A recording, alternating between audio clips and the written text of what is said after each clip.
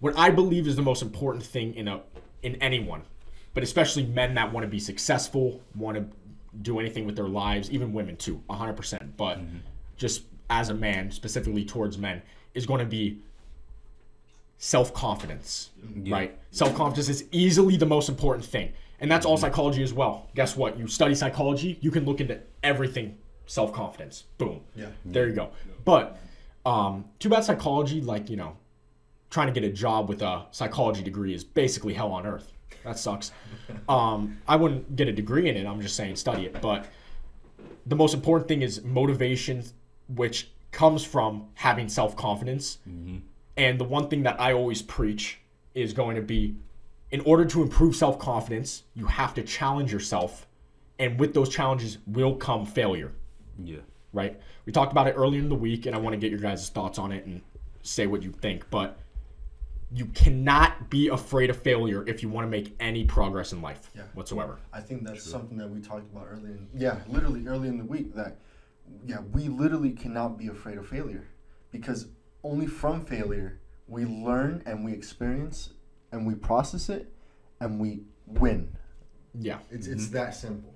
It's that simple. It's just experience experiencing those losses and you you don't even have to put it as a loss. You literally can just put it as a learning experience. exactly. You know, it's it's the way I apply it into the market as well, into the stock market, to where it's not a loss, but what did I learn from this? This is a learning experience, and each time you know I apply that not only to the market but to every everyday life, and you know. I guess it's just the way you perce- your mind perceives something. If you take it as a loss, that's how you you know you're gonna you're gonna feel. It, Yeah. It's gonna make you feel like an L. You Yeah. know. because your entire life is going to be your entire life you're taught to not take losses, right? Yeah. So Yeah. if you perceive something in your head that is a failure, even if it's small, like I don't know, whatever. Anyways, even if it's a small failure, couldn't think of an example fast enough. Yeah, like failing a test, Yeah. right? If you think about it as a loss, you will be afraid of it.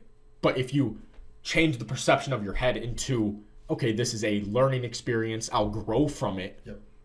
If that's the thing, right? If your main goal is growth, I think automatically you'll think of failures as learning experiences.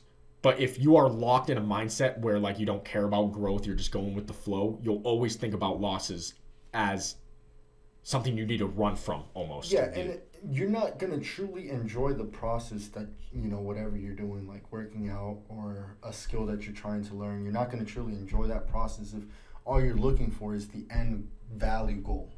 yeah. You, you know, and that's that's something that's very important to me. Yeah. is, is the process, not the end value goal. It should be for everybody, you know, honestly. Yeah. Unless if it's like a sport.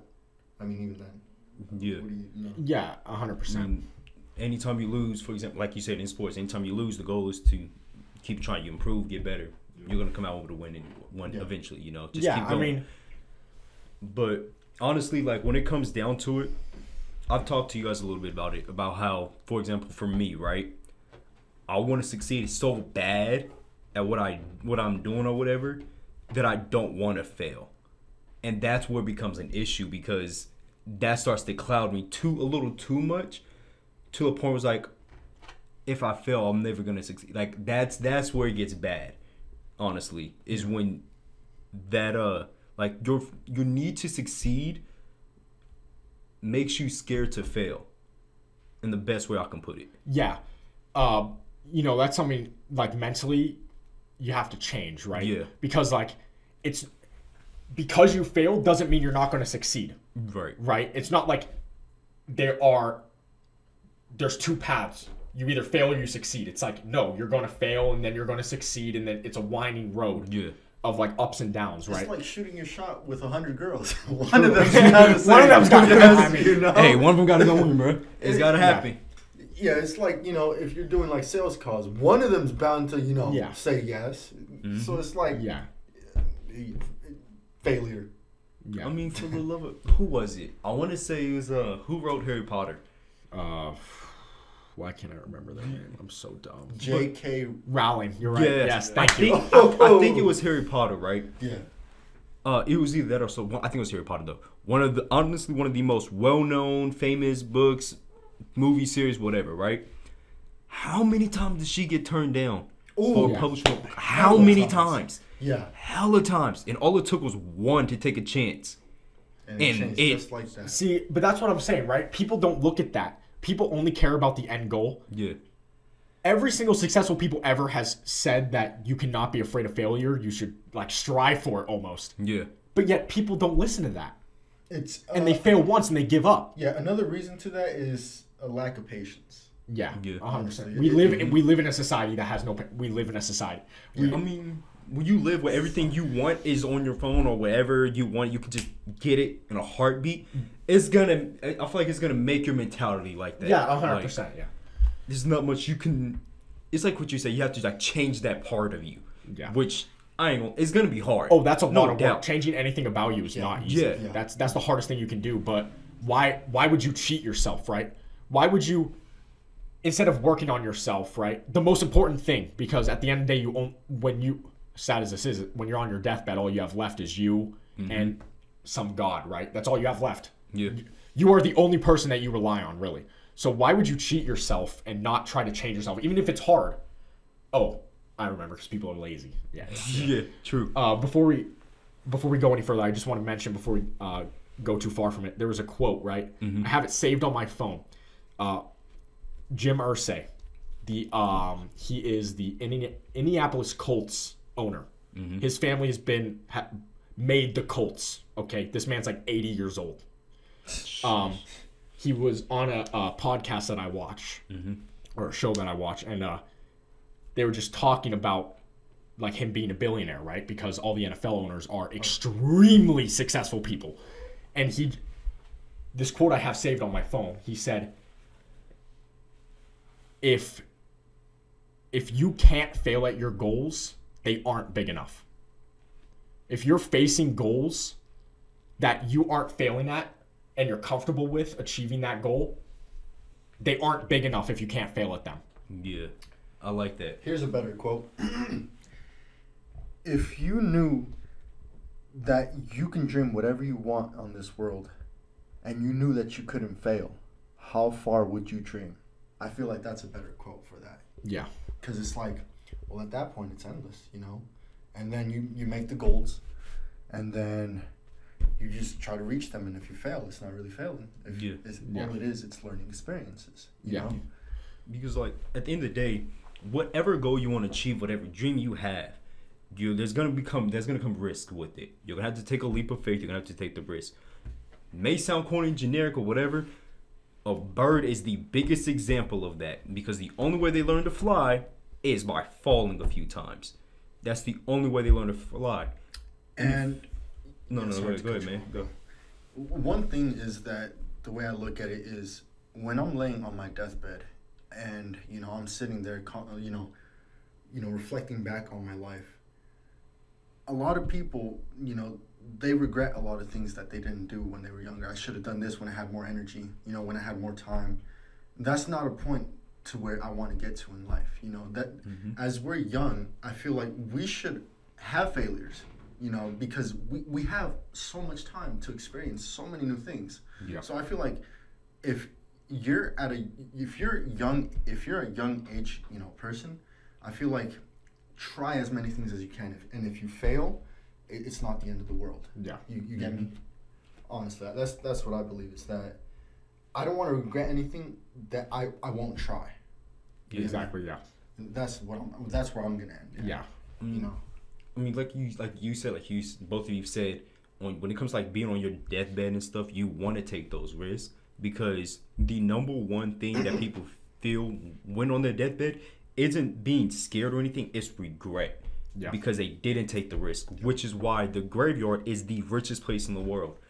Because so many dreams, so many hopes, where people didn't take those risks and leaps of faith, they all died there Yeah. Yeah. and it's truly sad because if if people would just take that risk, take that jump, whatever, the world could literally be spun on its head, and you have no idea what your even if you may think, okay, I'm just one person, I have I can't control, I can't do anything in this life. You can.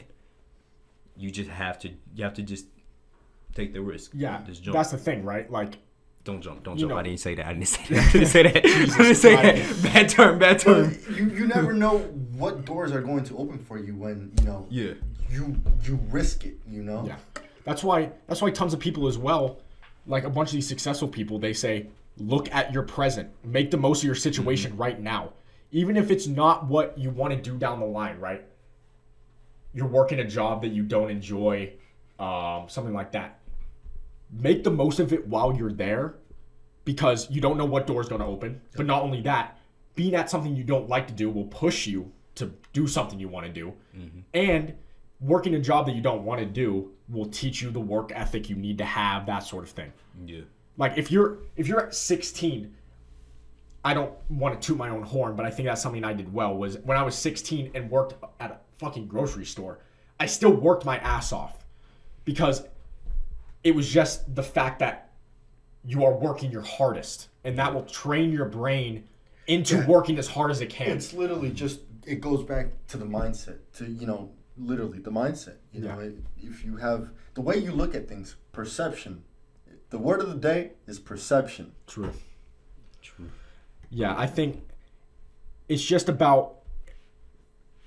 changing mindsets of people is like very until you do it the first time. Once you do something, I feel like you change your mindset truly for the first time, regardless of the reason, whether that's because of a breakup, uh, because something happened in your life, and you change your mindset for the first time, you'll realize it's hard, but it's not impossible. Yeah.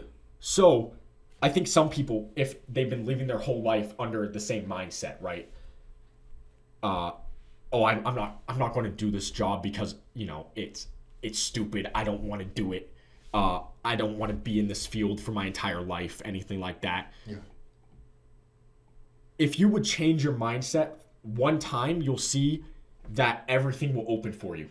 You'll be able to work harder, you'll be happier, stuff like that. You don't have to constantly be in this loop of, oh, I'm not exactly where I want to be, so I'm just going to waste my time while I'm here. So here, here's a good, uh, how do I say it? Good thing that you could practice is that since we're creatures of habit, uh, a good way to start is doing menial tasks, making your bed, Mhm. cleaning your house, you know, s- small things like that. You achieve, you know, you, you achieve more in your day, and it makes you feel more productive, making you Yeah. feel more, you know, energetic to get the next thing going, and, and it builds momentum, you know. Yeah. And so, since we are, you know, since we uh, we're creatures of habit, we do everything on a daily basis. The patterns, we, you know, if we break that pattern, you know, and we do something new, the first three days are gonna suck. Honestly, the first three days are going to suck. But if you could stick through it and challenge yourself, you could see better results, better, more things for you, Yeah. way up ahead in life. You know. See, that reminds me. I don't remember who said it. I want to say it was some type of Marine receiving some reward or making a speech or whatever. It that just reminds me of he was basically talking just like that. He was saying little victories like waking up, making your bed. Little victories will eventually lead up to those bigger victories, and it all just starts from the small one, changing your like you said the mindset and everything. Yeah. Yeah. Well, those small things are like a foundation. Yeah, So, how could you build something big if the foundation isn't even done? It's going to crumble. yeah, Just doing those little things helps your brain feel more productive, like you said, but also just get in the habit of doing things you don't want to do. No one wants to make their bed, but the fact that you wake up every morning and do it anyways mm-hmm. will trick your brain into, okay, I don't really want to do this. I, let, let's say you're a you're you're a movie writer. Yeah. I don't want to write the script today. Well, too fucking bad.